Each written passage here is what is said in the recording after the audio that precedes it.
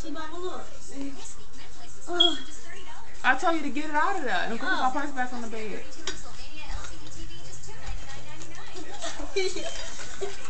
Stop, Brian. Brian, stop. Brian, stop. Hair, hair, nothing but hair. Brian, stop. Mama, oh. Go get it. Uh-uh, go ahead. This is my wife right here. Brian, come on now. Find something else to fucking see and cuss. Go.